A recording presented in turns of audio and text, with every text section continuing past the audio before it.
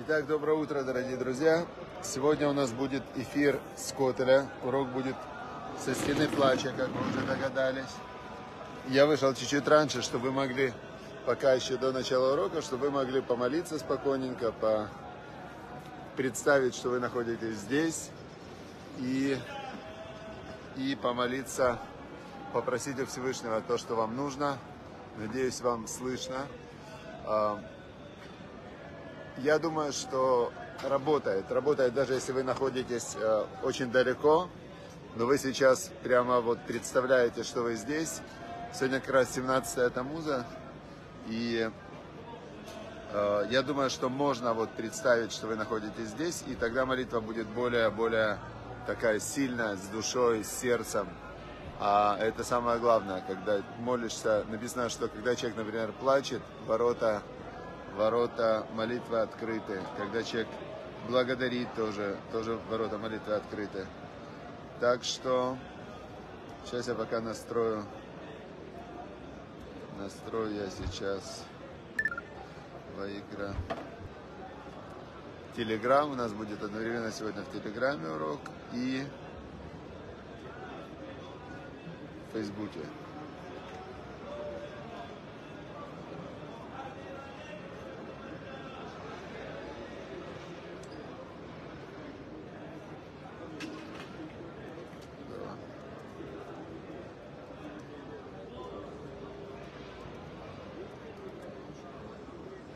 Сегодня у нас какое число? Шестое, да?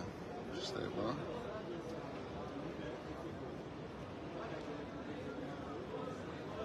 Так.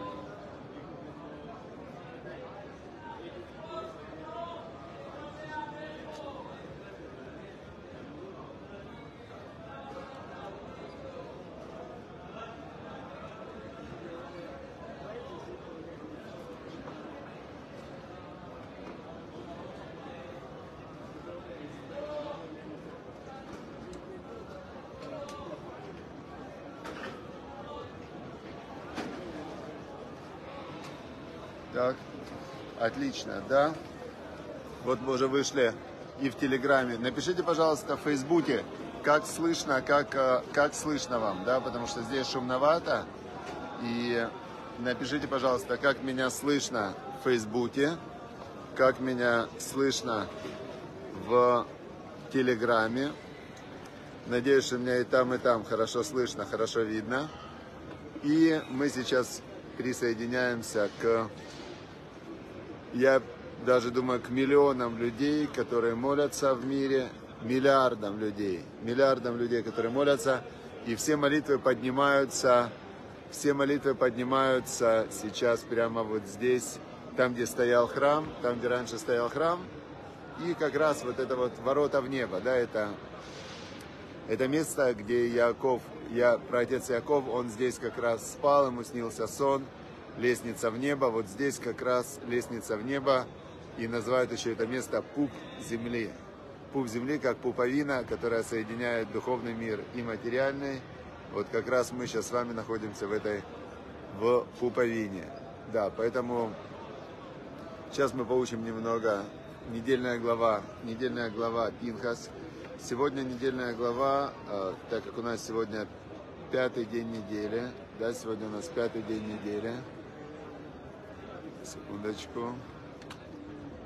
Какой сегодня у нас день? Да, пятый день недели сегодня, правильно. То, а, значит, а, мы читаем пятый отрывок. Пятый отрывок. Значит, ну, я вам скажу так, что экшен закончился. Экшен закончился, то есть эта недельная глава начинается с а, совершенно такой вот в стиле, знаете, как боевики такие, да, что еврейский народ стоят лагерями, приходит глава колена, колена Шимона, Зимри заходит, приводит принцессу Медианскую, там стоят медианитяне, мади, что-то они там магией занимаются. Тут начинается эпидемия. В общем, начало главы полный экшен. И Пинха с копьем убивает Зимри и Козбе. Значит, э, дальше, дальше у нас идет, э, дальше у нас идет очень интересная ну, идет опять про, про то, что Всевышний дает, э, дает Всевышний закона о наследстве, то есть он объясняет нам Всевышний, как раз, мне кажется, в этой главе, что насколько важны вот эти вот все генетические связи. Кстати, интересно, э, есть такие методики сейчас в психологии, называются родовые расстановки. И они утверждают абсолютно логичную вещь, что если есть какая-то проблема в предыдущем поколении, если ее не решить, то эта проблема, она как снежный коп может накопиться и, и значит, э, и все. Потому что, например, написано, Бог сказал, что я, говорит, наказываю, наказываю до третьего, четвертого поколения за грехи отцов. А почему до третьего, четвертого поколения? Можно было бы, а говорит, а заслугу сохраняю за грехи, за заслуги отцов на тысячу поколений. Почему так? Потому что любой грех, который идет на третье, четвертое поколение, он вырастает до такой степени, что он уничтожает человека, ну и его потомков, если они повторяют этот грех.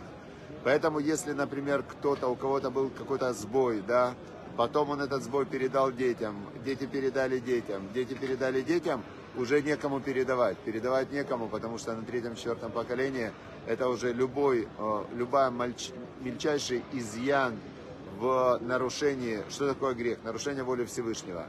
То есть, если нарушение воли Всевышнего, значит, это, это то, что называется грехом. И когда ты делаешь один раз какой-то грех, то Всевышний, он тебе дает какой-то сигнальчик такой, да, там на уроке ты вдруг про это услышал, там урок Торы, где-то прочитал, все, такой легкий сигнал. Ты думаешь, да не, это не про меня, это какая-то старая. Потом бах, неприятность, неприятность, сильнее, сильнее, сильнее, оп, и дальше вывод. Или человек возвращается и делает шуву раскаяния, или если он не возвращается, не делает шуву, то происходит уже окончательное какое-то какое разрушение.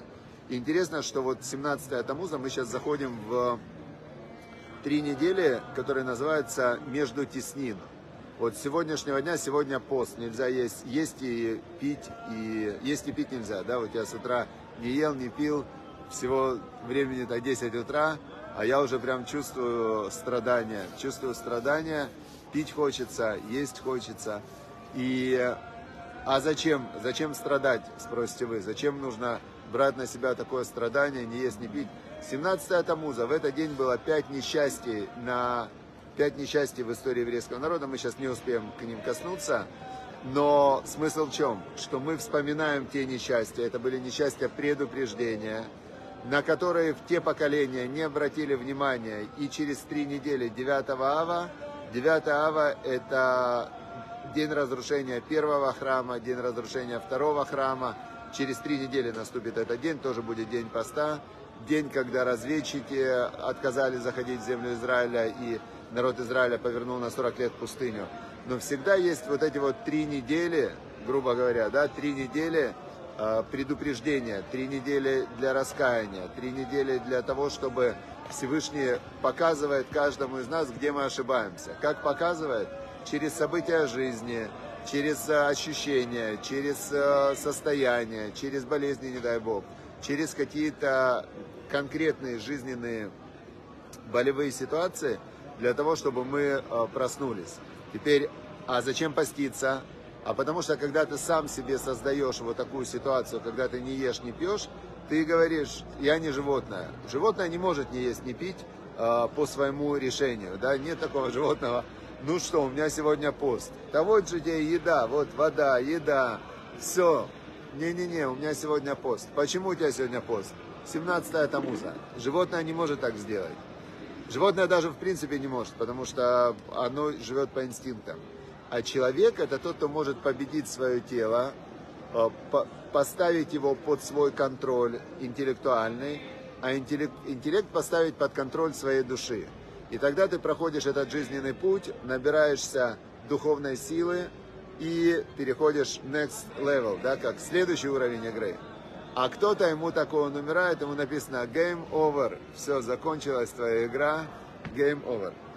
Хорошо, теперь э, пятый день недели, пятый день недели, уже мы и с наследством разобрались. Дочь Цалавхада получили свою долю наследства, так как у него не было сыновей. И благодаря им в Торе прояснена глава по наследству, да.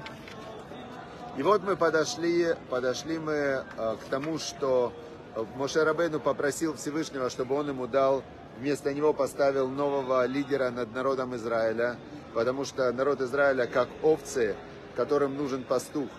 И это интересно, как в, в христианстве называется пастырь. Ну, пастырь, да, у них есть такое слово, от слова пастух. Что вот у них это, прямо они это сохранили и взяли. У нас не называется, в иудаизме нет такого названия, что раввин, он пастух, да. Как-то не прижилось это название. Но в принципе, в принципе Машарабейну просил именно пастуха. А, но с котом иногда кто-то кого-то может назвать, да? Это как бы, это есть. А вот пастухов э, я что-то не слышал. Хорошо. Теперь, значит, э, дальше мы двигаемся. Двигаемся дальше. Солнце тоже двигается вместе с нами и продвигается оно к стене. Да. Теперь э, пятый день. И сказал Бог Моше, на Израиль Вамарта Алеем. А, значит, прикажи сынам Израиля, скажи им, чтобы мои жертвоприношения, хлеба, воскурения там и так далее, чтобы приносили в, во времена, когда надо их приносить. И дальше идет весь отрывок, пятый отрывок идет от начала до конца, опять про жертвоприношения. А, разные виды жертвоприношений, как, когда, для чего, в, то есть э, мы знаем, что есть четыре вида жертвоприношений. Есть жертва, которая называется жертва все сожжения, когда полностью все сжигается. Есть жертва, которая называется жертва хатат. Это греховная жертва для искупления греха. Есть жертва благодарственная, да, которая, которая значит за благодарность. Есть, сейчас секунду, есть ола, ола шламим, хатат, Шам. Ну, есть разные за грех, есть два вида жертв за грех, да. Теперь, знаете, всего четыре. Теперь что получается? Э, в наше время мы не можем приносить жертву. Вот тут за этой стеной, вот это, видите, стена у меня на фоне, я на фоне стены, вернее, это одна из стен храмовой горы. Это не сам храм. И на храмовой горе, на храмовой горе стоял храм. Первый Иерусалимский храм его построил царь Соломон, который написал вот эту книгу, которую мы изучаем, Мишлей. Он построил первый Иерусалимский храм, он простоял 410 лет. И был разрушен, э, был он разрушен выходный царом, вавилонским царем, где-то 2500 лет назад.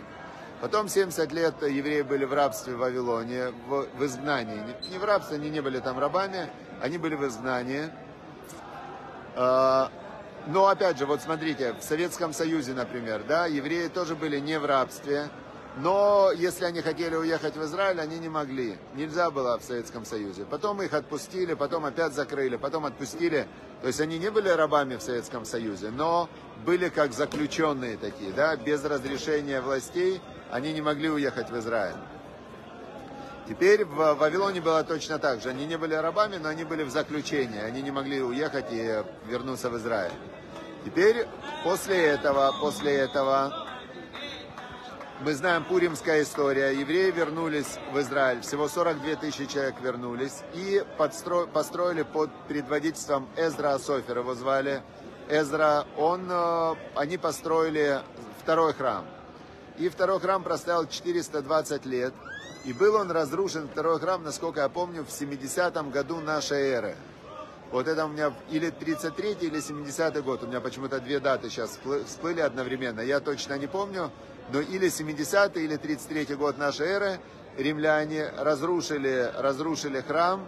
И евреев тоже опять угнали. Угнали евреев в Римскую империю. Говорят, стройте нам Колизей. Нечего вам э, строить храмы, приносить жертвоприношения. Это лишнее. Мы, да, вот спасибо мне подсказывать, 70-й год.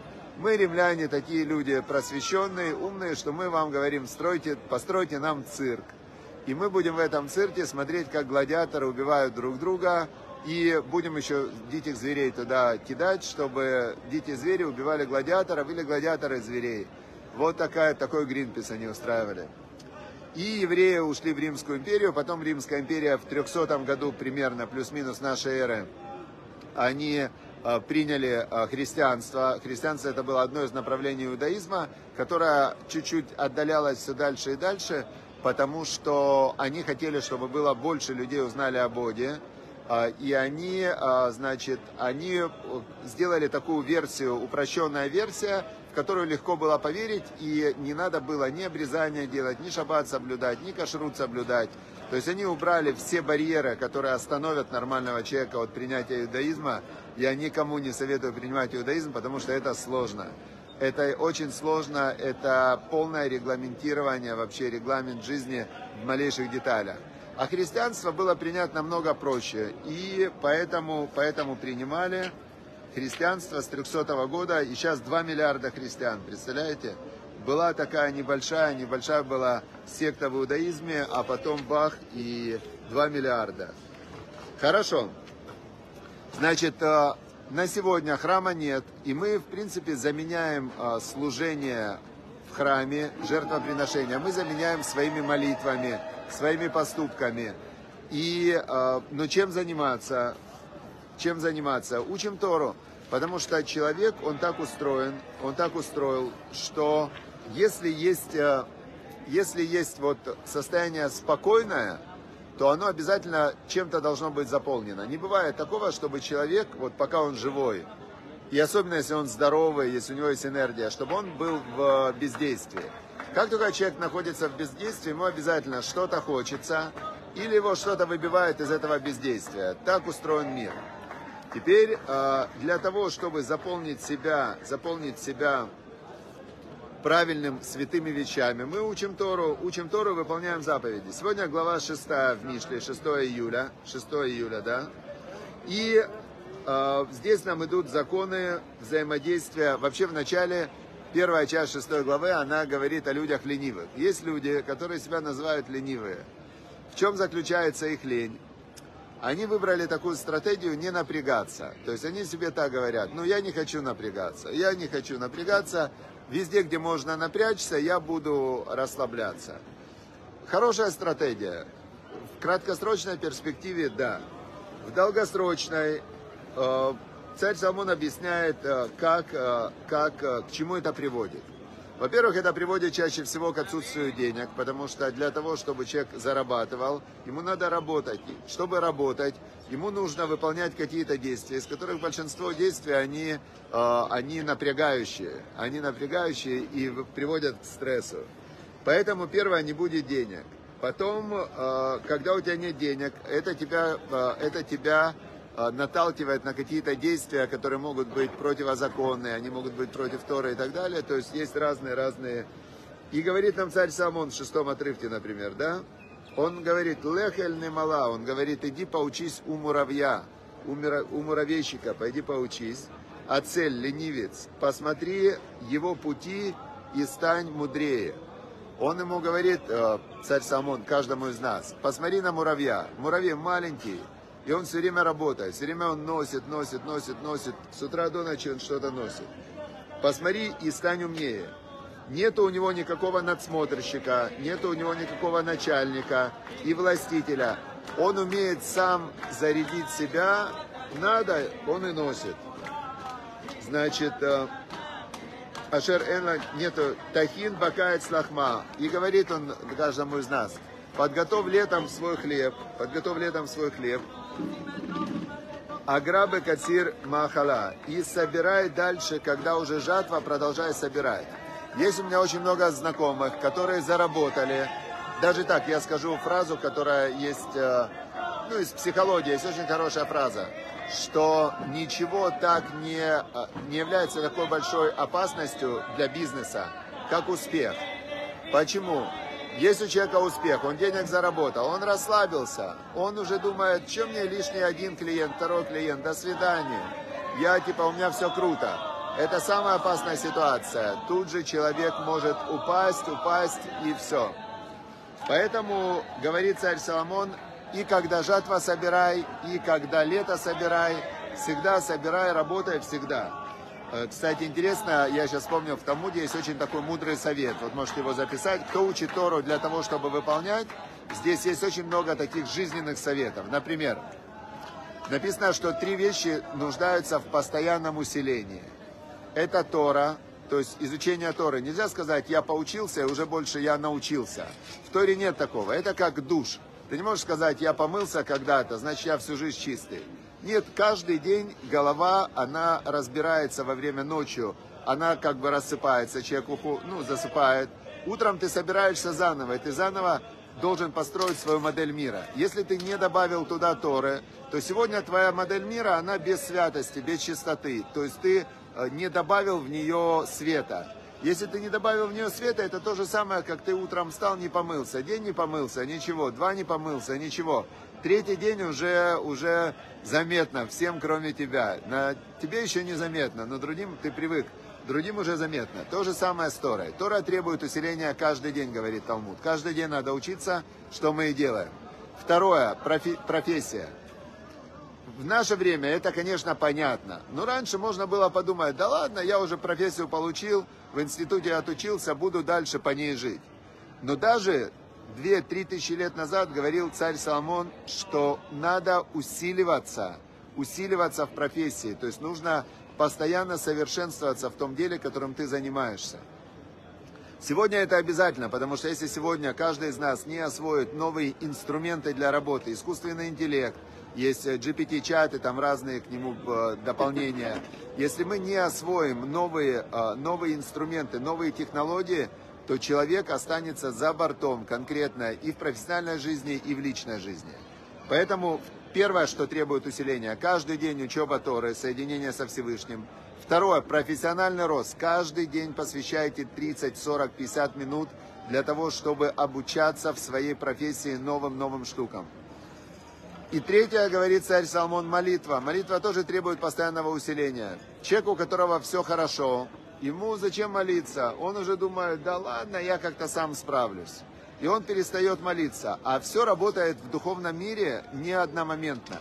В духовном мире все работает э, по принципу душа. Знаете, как в душ ты заходишь, душ душа легко запомнить.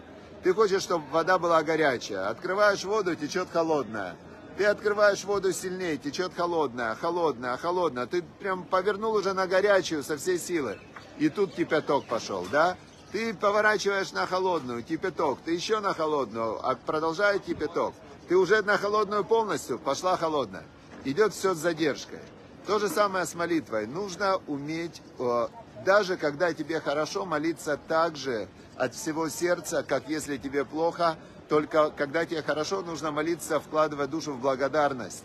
Благодарность Всевышнему. Хорошо, дальше идет опять про женщин э, нехорошего поведения. И сегодня я хочу 23 отрывок, это тоже один из моих любимых отрывков в Мишлей. 6 глава, 23 отрывок звучит так. Значит, я его использую почти каждый день. Кинер мецва, каждая заповедь это свеча. Потому что свеча, заповедь это свеча, Ветура ора, Тора это свет. Ведера хаим, путь жизни, тохахот мусар. Увещевание, э, нравственное увещевание и нравственное исправление. Значит, этот отрывок, он дает нам полное конкретное понимание вообще, как работает Тора.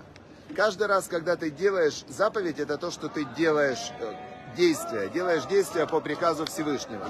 Это зажи... ты зажигаешь внутри свечку. Свеча, она стоит на физической основе, и без вот этой вот свечи, фитиля и огня, который ты зажигаешь, а огонь, когда ты делаешь заповедь, это твое желание, твое намерение. Свеча не может гореть.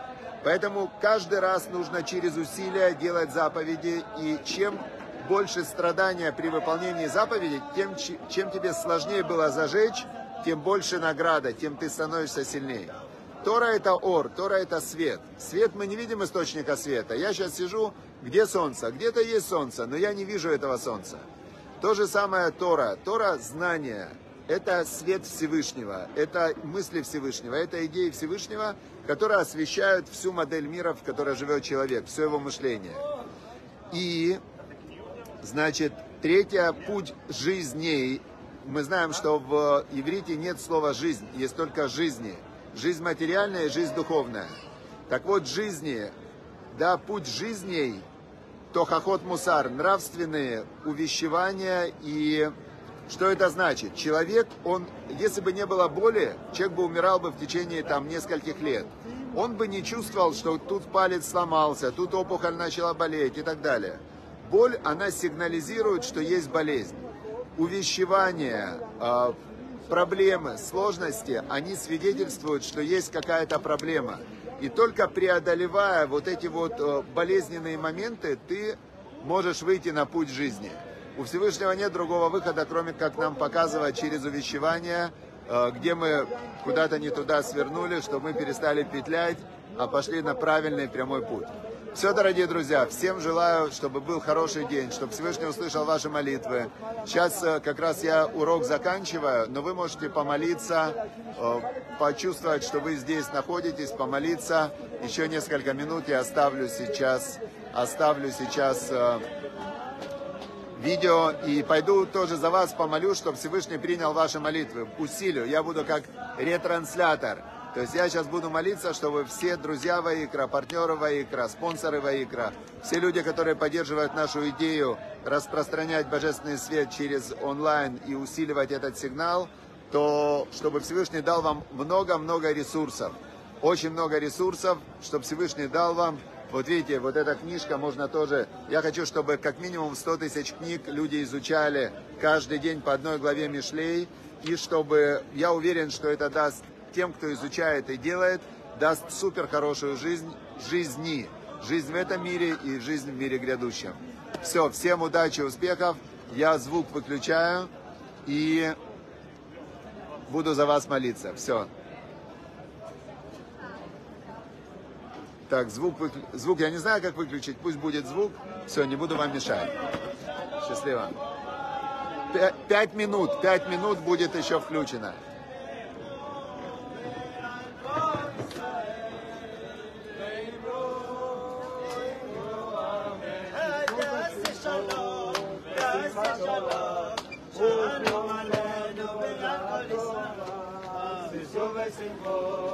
בשמחת תורה,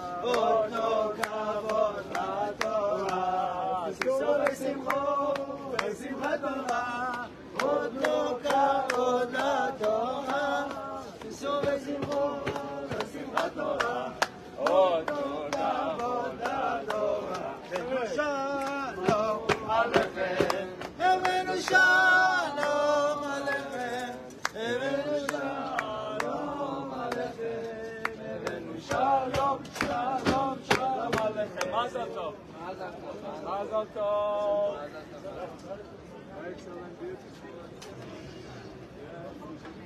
Good job, man.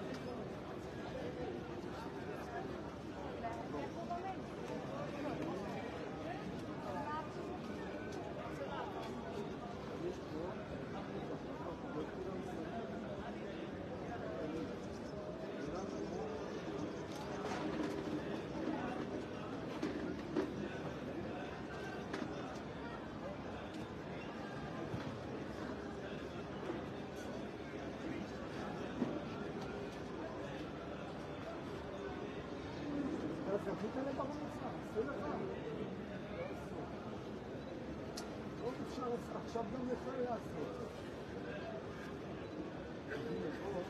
אתה לוקח את זה, ואתה מברך, ואתה מברך את השם ברוך, אבינו, ואומרים ברוך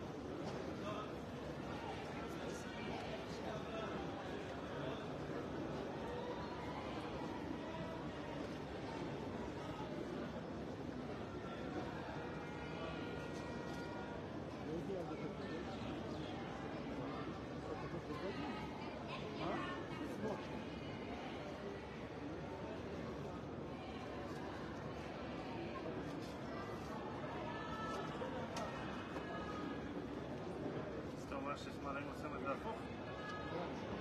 זה לא ידעתי.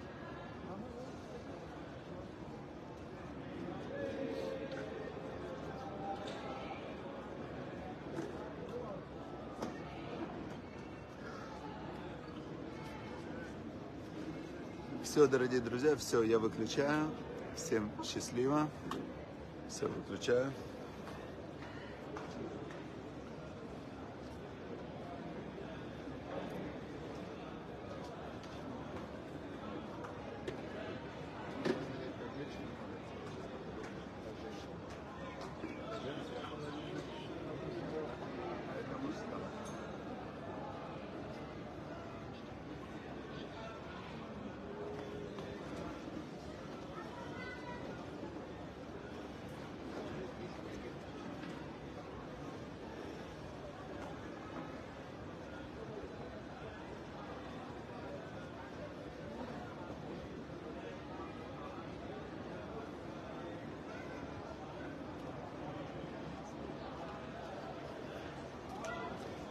Все, выключаю. Удачи, успехов всем, чтобы Всевышний услышал ваши молитвы и выполнил для вашего блага.